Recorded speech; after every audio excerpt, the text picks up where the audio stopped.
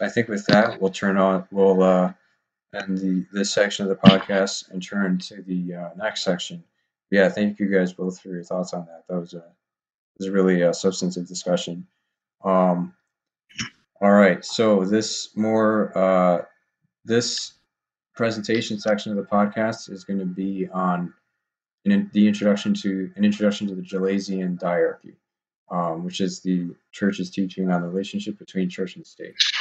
Um, all right, let me see if I can do justice to. So I'm going to be basically uh, shamelessly plagiarizing an article made uh, written by uh, Edmund Waldstein uh, of the Order of the Cistercians um, on this. So uh, definitely we'll link that in the the uh, description below, and definitely uh, gives give give a shout out to him and the Josias. I'd highly recommend that website. Um, but yeah, I'm gonna. I did add some more th- things of my own and stuff. So uh, hopefully this will be comprehensible. All right, so if we go back to antiquity, so before considering Catholic teaching on this topic, what did the ancients think of uh, think the end of of man was, like the temporal end? So if we look at Aristotle, um, just because he's obviously greater than all the other ancient philosophers, um, he says that uh, there must be some final end for which all other ends meet up. Um, so, like, if you're driving a car, like the end of driving a car isn't to drive the car. Like, you're not just driving; you're trying to get somewhere, and that is the final end.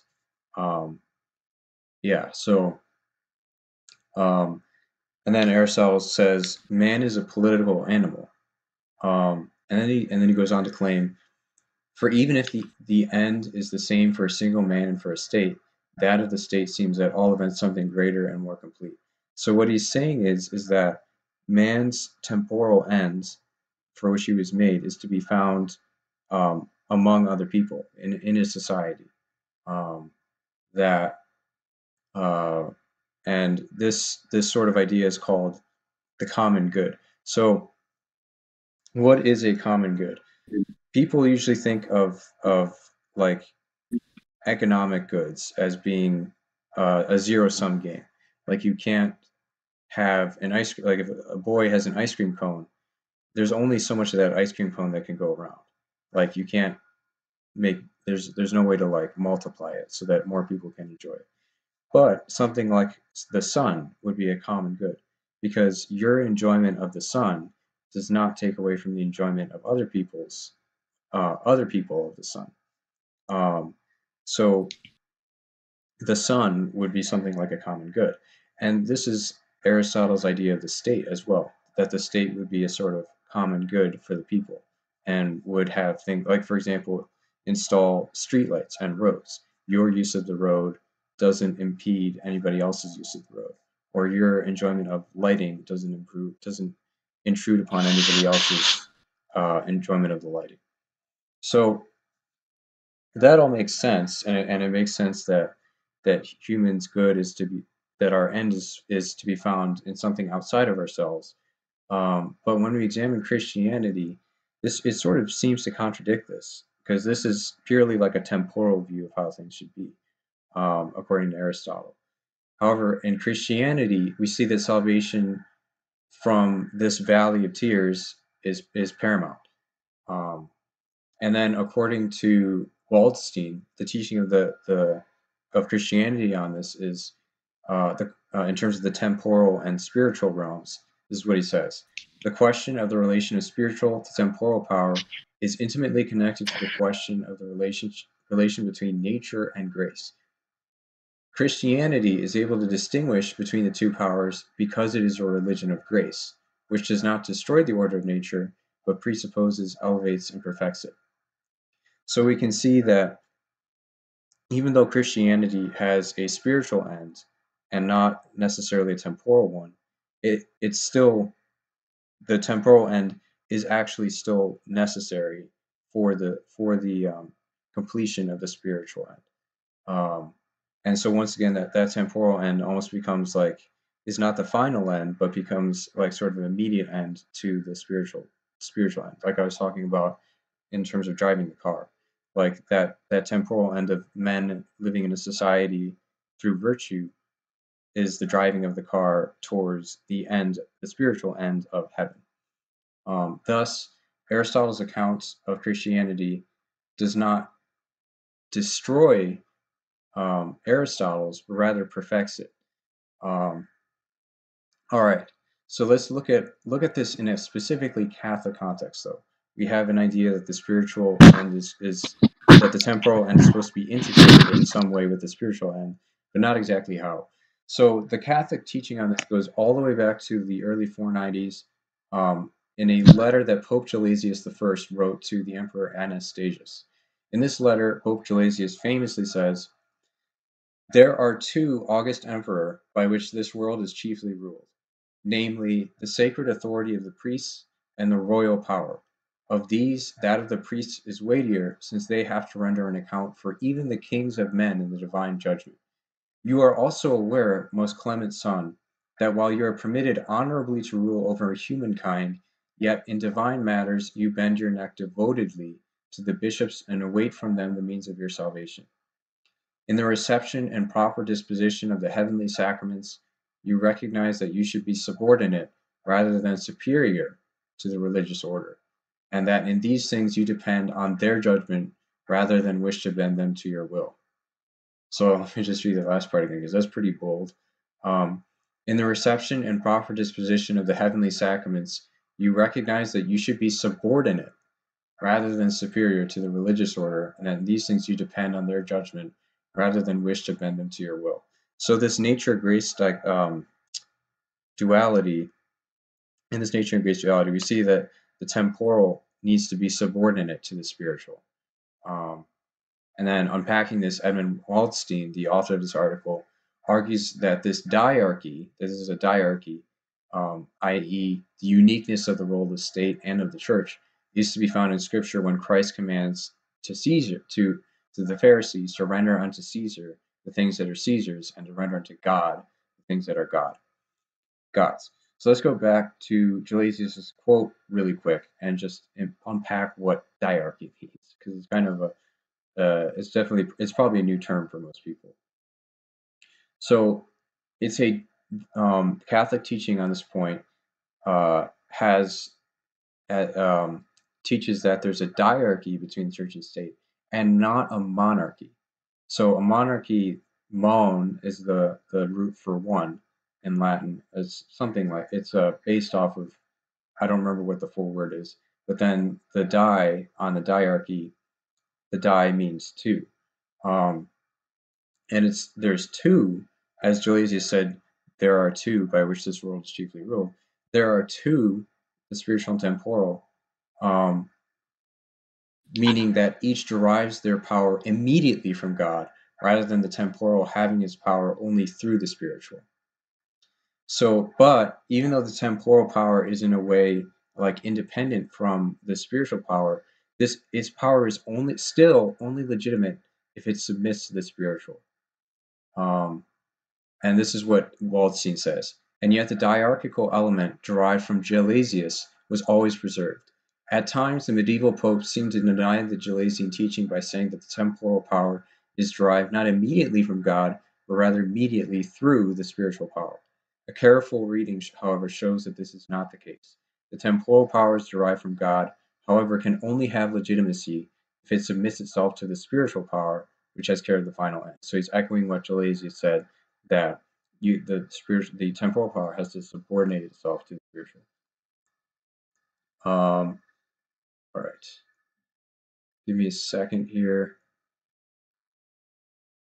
All right. So a question that immediately comes to mind here: Why in the world would God establish two powers here? Why would he have it make a diarchy instead of a monarchy? Um, well, we saw earlier that grace perfects nature, and that nature is incapable of reaching the spiritual end of man, which is according to St. Thomas the beatific vision of God in the next life. So that end is only achievable in the next life. So it makes sense then that the church should govern over matters pertaining to the salvation of souls, but why then shouldn't the church govern over temporal things as well? In another text by Pope Gelasius I, called Tractate 4, we see this diarchy of the spiritual and the temporal exists because of sin. Because of sin and human pride, as Gelasius says, it is necessary for the spiritual power to give up care of earthly matters to the temporal power, and that is why it is taught that those warring for spiritual things should not be entangled with secular things. And we see this in Christ's rebuke of Peter those who live by the sword shall die by the sword. The flip side of this, then, also, though, is that without the effects of sin, there would be no need to separate the spiritual and temporal power, and thus this the spiritual power would reign supreme in a more monarchical sense than a diarchical sense. Um, all right, so I'm just going to stop there. The rest of what I have is the Pope's just confirming this teaching. Um, and yeah, I'm, I am sorry if that was slightly confusing or more than slightly confu- confusing. But uh, what do you guys think on the presentation? You can disagree with how I framed it, I guess, um, having read the article yourselves.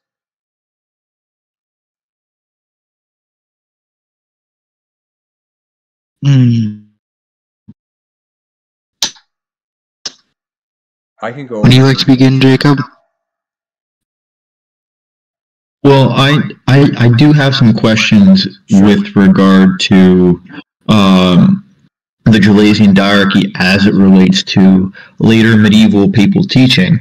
Um, uh, for for example, Unam Sanctam and Dictatus Papae, um, in the opposite order because Dictatus Papae was was written before. But anyway, um, so so how how how does the the development of the doctrine of of you know the, the Petrine office work in, in, this context? Because on one hand we have the the early teaching uh, or the earlier teaching of Pope Gelasius where we, we do have the the, the diarchy. Um, and then later on um, with um, St. Peter Damian um, we have the investiture controversy, um, and Saint Peter Damian begins appealing to to the Holy Roman Emperor and explaining that yes, there are two swords, but the the, the, the spiritual and the temporal, but the temporal is handed to the temporal power by the spiritual power. And then in Dictatus Papae, um, we get a uh, which is written around that time in, in 1075, um, we get um, the foundation of the idea of Caesar papism. So again, the superiority of the Pope over over the Emperor, um, and that that the, the the temporal comes the temporal power stems from the spiritual power. It, it, it is necessary to get the approval of the Pope, um, not only for the the investiture of bishops, but also for the anointing and crowning of, of temporal kings, uh, which was previously considered to be the the um, prerogative of of the emperor. Um, and then, of course, unam sanctam, we, we sort of see a confirmation of that. So I, I was just wondering how how we, we we look at this and we sort of reconcile this transition in light of the magisterium of the church. Right. So that was what I was going to get into uh, after that short explanation. But I can I can read the um, the words from Unam Sanctam that you were uh, referencing. Um, this is what this is from Pope Boniface VIII, and I think you can correct me if I'm wrong. 1302 is when it was written. 1301, something like that. Something like that. Beginning of the 14th century. Yeah. Uh, so this is like this is it's a very short encyclical, and this is sort of the heart of it. Uh, he says, both therefore are in the power of the church, that is to say, the spiritual and the material sword. But the former is to be administered for the church, but the latter by the church. The former in the hands of the priest, the latter by the hands of kings and soldiers, but at the will and sufferance of the priest. However, one sword ought to be subordinated to the other, and temporal authority subjected to spiritual power. So he's saying that this still um, echoes the teaching of the Gelasian diarchy because the, the temporal sword is wielded um, by the hands of the kings and uh, by the hands of kings and soldiers, but is wielded for the church. so we see this that the that the sword there's two swords that are given one to the church one to the temporal power but the temporal power has to even though it gets to wield that sword it has to wield it in, in subordination to the um, spiritual power so that still preserves the Gelasian teaching that um, the temporal and the spiritual both get their power immediately from God rather than the temporal getting their power immediately through the spiritual. Once again, as I mentioned before, the temporal power has is its use of the sword is only legitimate if it if it administers it for the church, as Pope Boniface VIII says. Does that answer or mostly answer the question? I see. Yeah. Okay. Yeah. Um, I think later we're gonna we're we're definitely gonna go over the um, what the medieval popes say, and I think we're also gonna go over in that article uh, the Augustinian uh, view, the more Augustinian view, and the Whig Thomism view that are sort of uh, contrary to inter- the integralist view, the Gelasian hierarchy, um, just so we can sort of see by uh, see by contradiction like more clearly what integralism is. Um, You know, it'd also be nice to uh, look at Saint Bellarmine in that as well. oh, okay. Um, do you know? 'Cause he uh, he writes pretty extensively um, about different forms of government. Well, I don't know. extent- uh, He writes a good bit about uh, different forms of government. Okay. Can you guys uh, post the any sources? Because I have Pope Boniface VIII, um, but I don't think I have Saint Peter Damian or uh, what were the other other popes you, or what were some of the popes you mentioned, Jacob? Um, there's also a document that wasn't published. It was more of like a note. It's called Dictatus Papae, um, and it was written by Gregory the Seventh. Oh, is that Gregory the Great? I don't think so. Oh no, okay, Uh, Gregory the Great is uh, Gregory the First. Gregory the First. Okay. Um, displaying my amazing lack, amazing lack of uh, amazing church knowledge here. And then William, you said Saint Robert Bellarmine. So Saint Peter Damian, Yeah. Gregory the Seventh, and then Saint Robert Bellarmine. Okay, I'll have to take a look at those and uh, weave those into the the uh, the the next one. Um, so one other point that I that I wanted to make, which is very important here, uh, in terms of like the this not being a monarchy, this only has to do with the relationship between the church and state. This doesn't have to do with the composition of the state itself. So this is not saying that the state itself needs to be a diarchy. No, like um, ideally the state itself would be a monarchy. Actually, um, it's just that in the relationship between church and state, there, it's a diarchy. Um, I don't know if that makes sense. There's also, you know, democracy and other forms of government are also allowed, um, but I think monarchism is the the ideal. Obviously, maybe not attainable in certain cases, but certainly the ideal uh, composition for the temporal uh, state. Uh, so I just wanted to make that that part clear too.